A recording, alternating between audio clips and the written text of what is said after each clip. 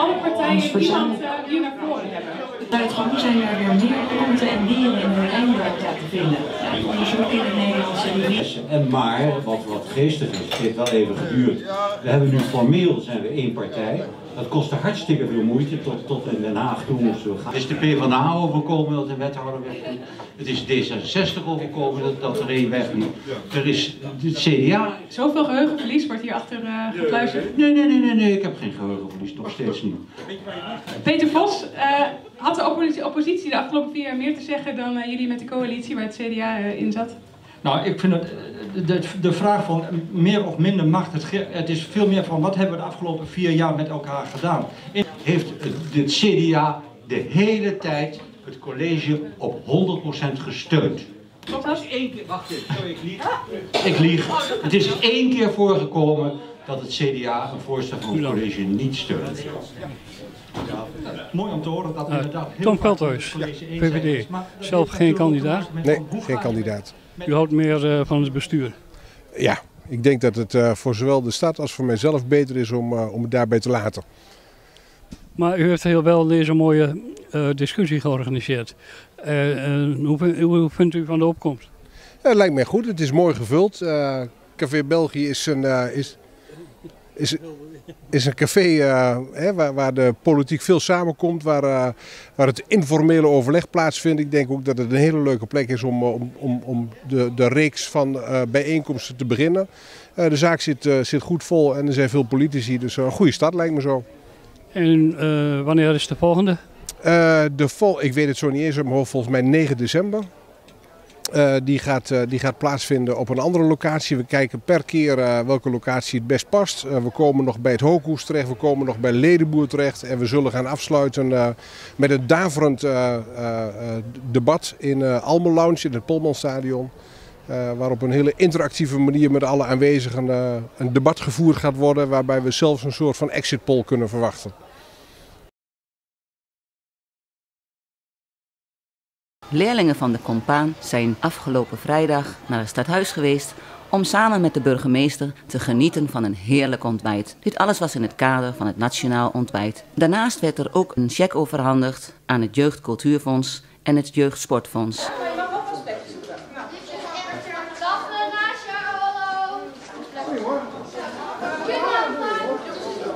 Um, ik vind het ontzettend leuk dat jullie van uh, groep 7 en groep 8, hè, ja. van de Compaan Maardijk, ja. hier naartoe zijn gekomen om te ontbijten met elkaar. Um, en we gaan het hebben over ontbijten. Wie, wie ontbijt er elke dag? Wie ontbijt er ook wel eens een keertje niet? Oh, oké, okay, ik ben niet één. ik ontbijt wel hoor, maar ook wel eens een keertje niet. Maar ontbijten is heel belangrijk. Weet je, wie weet waarom ontbijten zo belangrijk is? Dus je energie krijgt ja, ja. Dan word je niet heel goed, dan word je niet duizelig. Soms heb je, dan, dan heb je niet gegeten en dan ben je een beetje gammel en dan word je ook duizelig. Wie heeft dat wel eens gehad? Ja, wij allemaal, ik ook, wij allemaal wel eens.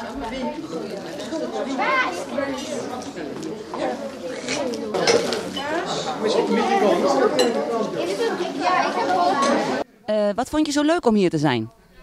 Nou, dat ik de burgemeester een beetje leer kennen. En hoe was het ontbijt zelf? Was wel lekker. Trouwens, nou moet ik wel vragen, hoe vond je de burgemeester? Wel aardig. Wel aardig of heel aardig? Uh, heel aardig. En uh, wat heb jij gegeten bij het ontbijt? Een bolletje en een broodje. Wat heb je erop gedaan? Smeerkaas. En er is ook een groepje mensen in, uh, in Almelo uh, die dat eigenlijk zelf niet kunnen betalen. Er is geen geld voor thuis om of aan sport te doen of aan cultuur te doen. Want daarvoor is ook een jeugdfonds. En het jeugdfonds die zegt van uh, kom op jongens, dat is belangrijk voor je. Ga je ontwikkelen, ga dingen doen. Uh, word gelukkig.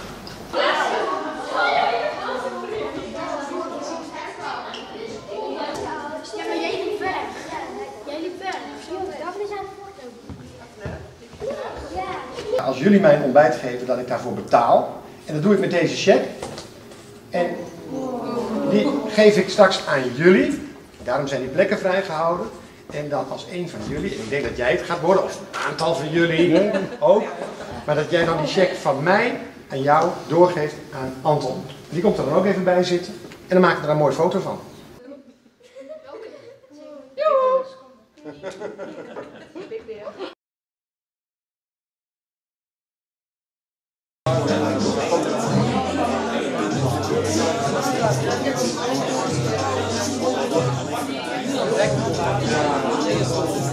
Puntje bij paaltje komt, dan proef ik angst voor het onbekende.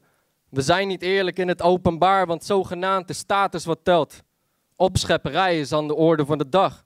We zijn meer bezig met het jagen op geld dan het bezorgen van een lach. Borst, kanker en al jaren ziek. Nee mama, we laten niet. Vijf euro per week is wat je in die dagen ziet.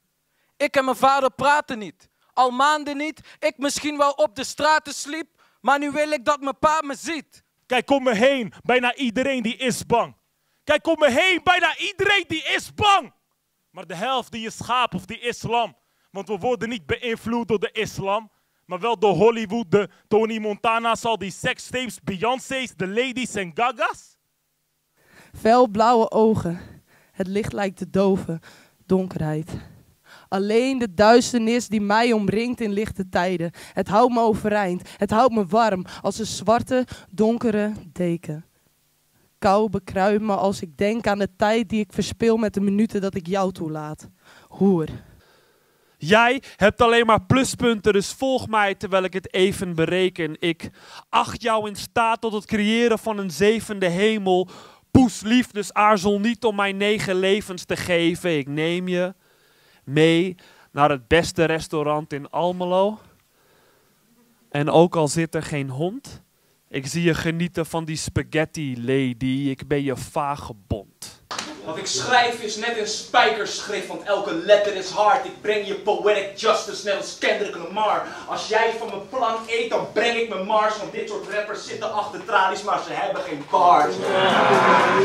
We zoeken waardering, waardering via materie en we dragen graag sieraden. Maar vandaag mag je de ironie van de sieraden. Zie de stage hier is het bord om van te eten.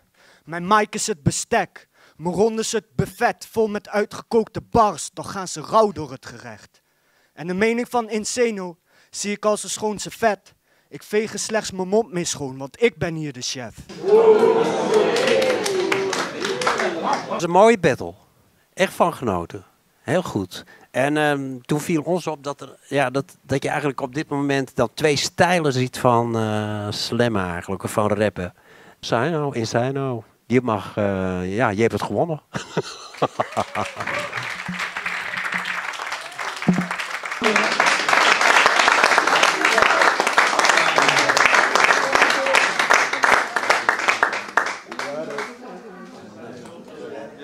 Al, alweer een prijs. Alweer een prijs. God damn it.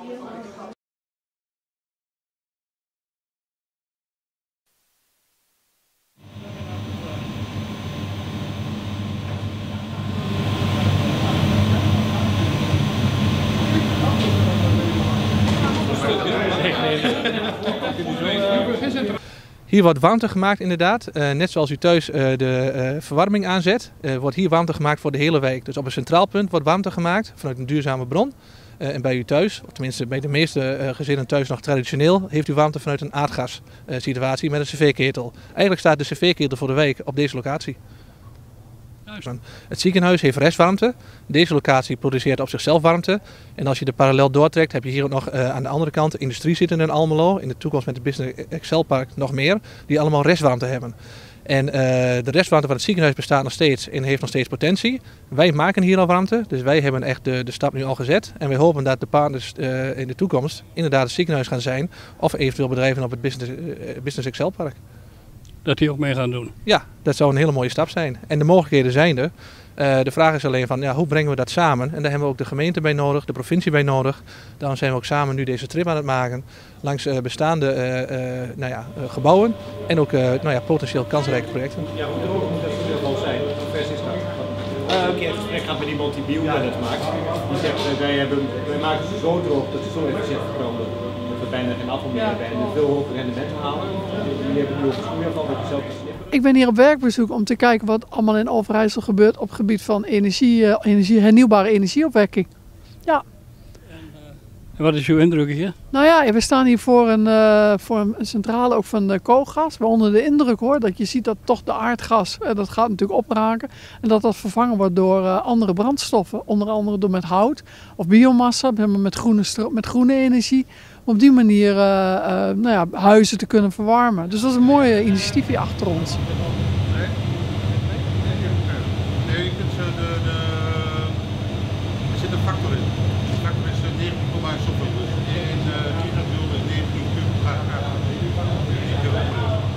Nou, we zijn even op XL Business Park geweest. Ook om daar te horen hoe dat bedrijventerrein verder verduurzaamd wordt. En we gaan zo dadelijk nog even naar Koolgas zelf, naar het kantoor.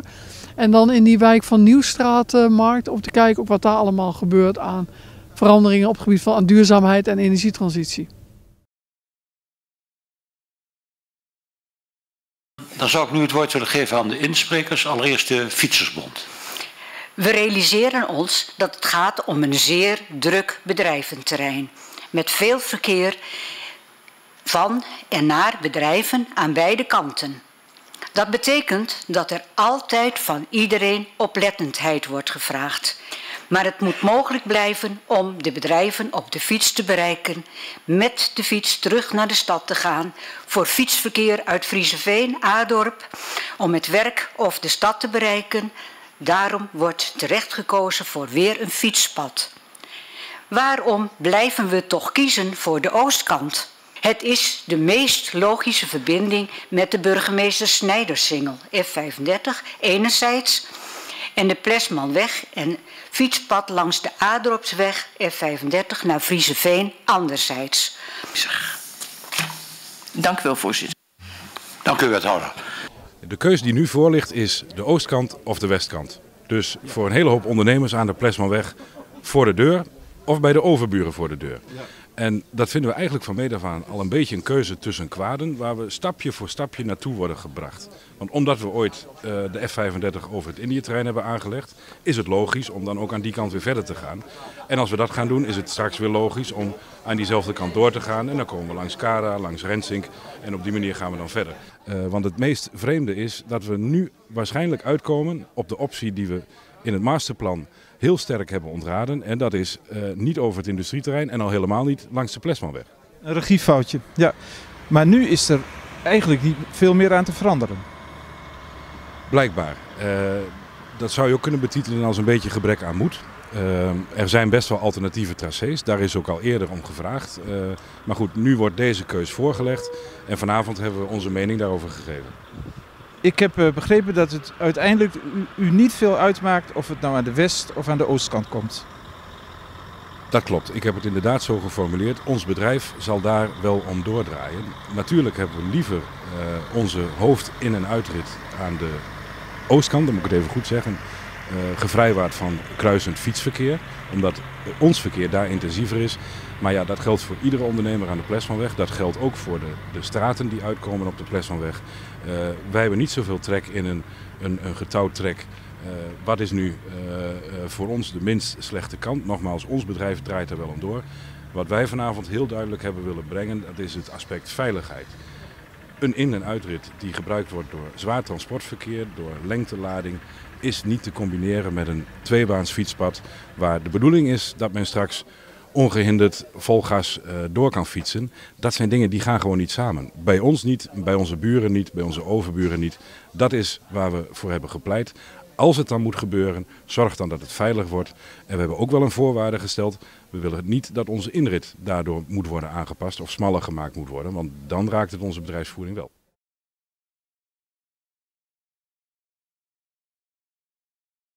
Leerlingen van het Erasmus College in Almelo hebben een uitwisseling gehouden tussen Poolse, Tsjechische, Duitse en Nederlandse leerlingen in het kader van hun textielverleden.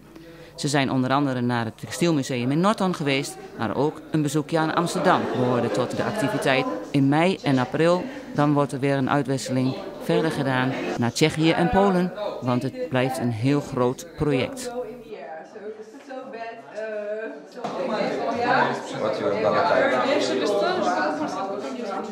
De school in Neuenhaus waar ik mee samenwerk is een school waar ik al veel uh, internationale projecten mee heb gedaan. En we zijn nu een project begonnen waar beide scholen, maar ook de partnerscholen die we hebben gevonden, iets hebben met textiel. En we willen de historie die willen we eigenlijk uh, naar het heden, naar de toekomst brengen. En leerlingen uh, duidelijk maken dat de roots die ze hebben belangrijk zijn voor het Europa van morgen. Dat is heel erg mooi. En uh, in praktische vorm hebben jullie dat ook gegoten. Kan je iets vertellen wat dat dan inhoudt? Ja, we gaan een webapp maken. Dat wil zeggen dat het een app wordt die je niet hoeft te downloaden via een store, maar die je, die je gewoon op je smartphone kunt zetten. Waarin we een educatieve en een toeristische route willen aanbieden. Six from uh, Czech, uh, five uh, from Czech, five from Poland. I come from Poland. Um, and what's your name? my name is Piotrek. Karolczyk Piotrek.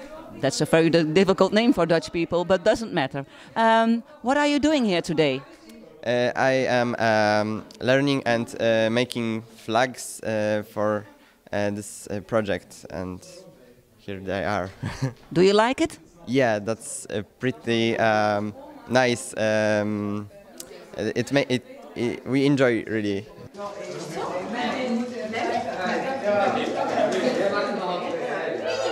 Jij hebt zo'n mooie schort om, met, een schort om met een letter erop. Waarom heb jij zo'n schort om? En waarom die letter? Uh, de schort is zodat de verf niet op een shirt komt en omdat uh, iedereen een schort heeft. Dus uh, dat is niet uniek, dus iedereen heeft een uniek schort. En de L is voor de L van Elastic. Ja, want zo hebben jullie jullie project genoemd, geloof ik, hè? Ja, ja dat klopt.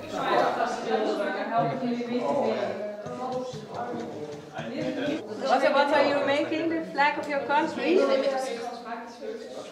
Ja, wij wilden een verbinding maken tussen de verschillende uh, landen, Polen, uh, Tsjechië, Duitsland en Nederland. En we hebben allemaal een textielverleden. En om daarbij aan te sluiten heb ik een workshop gemaakt waar iedereen een vlaggenlijn of een punt van een vlaggenlijn maakt.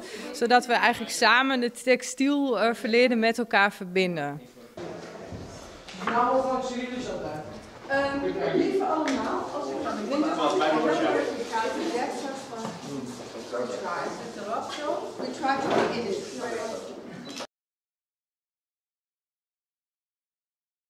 De Nationale Vrijwilligersvereniging De Zonnebloem organiseerde samen met de Almeloze Rotary Clubs een Boomwrecker evenement in wijkgebouw De Schelf. Een Boomwrecker is een harmonisch gestemde holle plastic buis.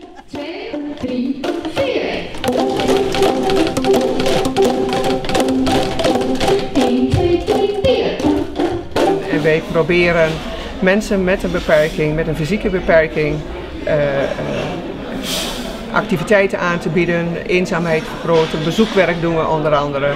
En uh, ook wel eens in kleinere groepjes mensen iets leuks aan te bieden. Willen ze een keer naar theater, dan kan dat. Um, nou ja, wat ik in ieder geval heel graag wil meegeven is, kijk, de zonnebloem staat of valt met de inzet van heel veel vrijwilligers. En het gaat er natuurlijk om dat uh, je op een leuke manier vrijwilligers uh, kunt interesseren voor uh, klaar te staan of ondersteuning te geven aan mensen van de Zonnebloem, hè, onze doelgroep mensen met een fysieke beperking. En ehm, deze dag is eigenlijk ingericht om mensen kennis te laten maken met eigentijdse activiteiten iets wat uh, mensen kan boeien, wat mensen kan interesseren en waarvan ze ook weten nou, hè, dat kan ik eenmalig doen. Ja, ik ben dus vandaag de vrijwilliger en ik ben hier gekomen om met uh, de mensen die hier zijn een orkest te maken. En dus zowel de doelgroep, hè, dus de mensen van de Zonnebloem, als vrijwilligers van de Zonnebloem, als de mensen van de Rotary, die zitten hier ineens allemaal in een zaal en, en we gaan samen muziek maken. Dat vinden mensen heel lastig. Maar hoe simpel het kan zijn, dat hebben we gezien. Want uh, je hoeft eigenlijk alleen maar tegelijk te beginnen en tegelijk te eindigen. En dan ben je al halverwege. En we hebben op een hele leuke manier samen muziek gemaakt. Als uh, serviceclubs, uh, want Rotary is een serviceclub, uh, om, bieden wij ondersteuning. In dit geval dus aan de Zonnebloem. Om samen met de mensen die geselecteerd zijn door de Zonnebloem muziek te maken. En de bedoeling is dat we dat uiteindelijk gaan presenteren op de nieuwjaarsbijeenkomst van de gemeente Almelo op 6 januari.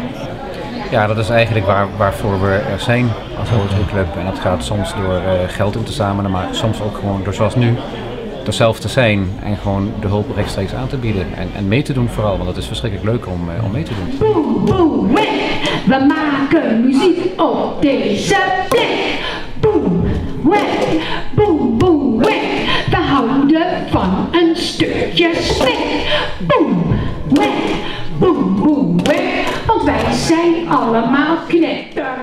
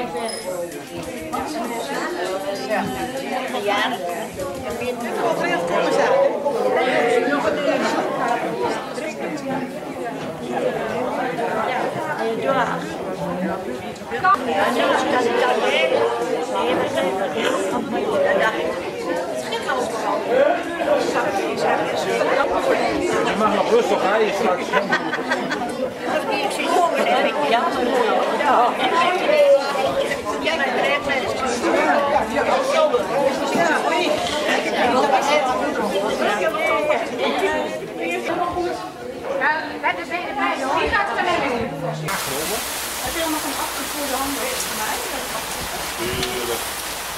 Hoe lang doe je het al, Arin?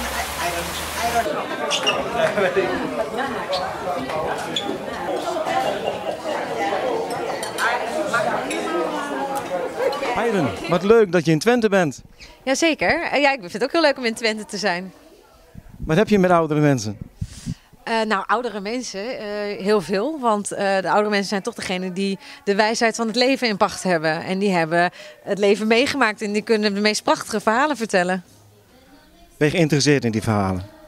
Ik ben wel geïnteresseerd in die verhalen. Ja. Ik kan er uren naar luisteren. Toen mijn oma nog leefde, heb ik ook heel lang naar haar verhalen kunnen luisteren. Want daar was zij ontzettend goed in, in vertellen. En hoe het was en wat ze mee had gemaakt. Dus dat vond ik altijd wel heel speciaal. Een beetje een idee van je roots. Ja, toch een beetje een idee van de roots. Maar ik vond het vooral leuk om haar te leren kennen als persoon. Hoe zij was als vrouw. Wat ze als kind had meegemaakt. Ja, maar gewoon ook als volwassen vrouw. Hoe ze in het leven stond en wat ze leuk vond om te doen.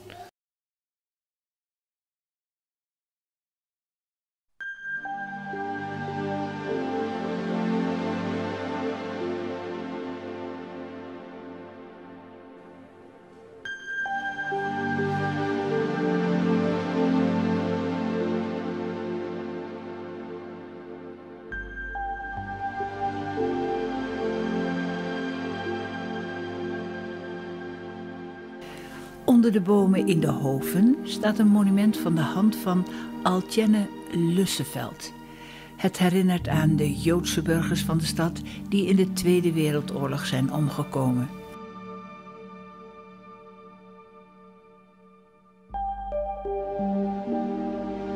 Het monument is in de vorm van een Davidster met gezandstraalde handen gemaakt naar ontwerp van de Almeloze scholieren.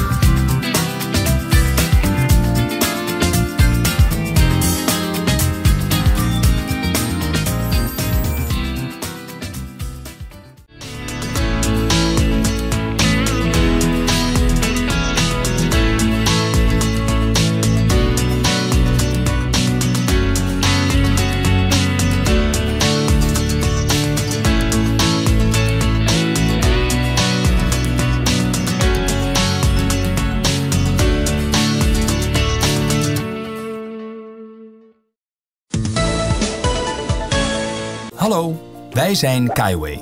Zoals we het cassettebandje hebben vervangen door online streaming, zo is glasvezel helemaal de techniek van nu.